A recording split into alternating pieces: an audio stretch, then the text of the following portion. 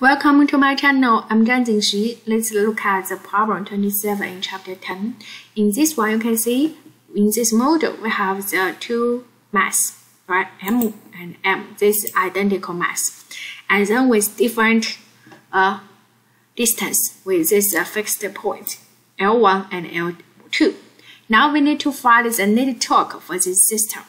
So how can we do that? First one, we assume the clockwise as positive direction. So because this is positive direction, so that means this one is negative direction. Do you agree? You can use the right hand rule to determine it. If you determine that, so this is a positive, so that means the torque for the for this box is mg L2. So the force times the distance and sine theta is 1 because this is uh, 90 degree and this one is negative mg L1. So net torque is mg L2 minus mg L1. Thank you.